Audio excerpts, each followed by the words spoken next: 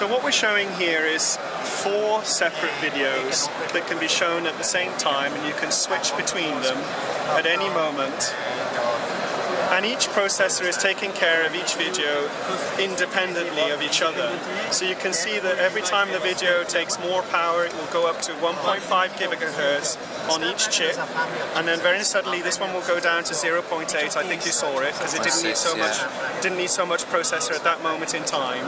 And this is the Snapdragon 4 chip, the S4, where each chip is controlling the graphics. It's not the graphics uh, processor itself that's, that's, that's, controlling it. It's the the, the, the core, right? The, the, quad core controlling the, these processors, right. and you can just switch between. So just one, just to summarize, the uh, quad core Qualcomm next gen S4 four times 1.5 gigahertz. Exactly. That's six gigahertz of processing power in a mobile platform. Exactly. And, and these are HD videos running, I assume, so right? This is called asynchronous because they're all running independently. And what's, yeah. what's the, the point of doing this is, of course, is to save battery power.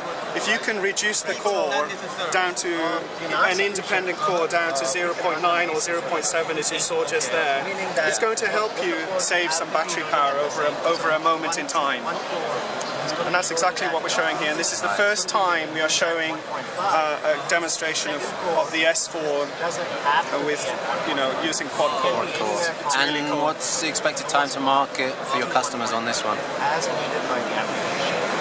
No, because I mean, obviously the dual core S4 is, is only just hitting the market now up on the top here. I think that's actually the, from the dual-core smartphone that's, uh, that's next to it here. But this is the reference design we're looking at here.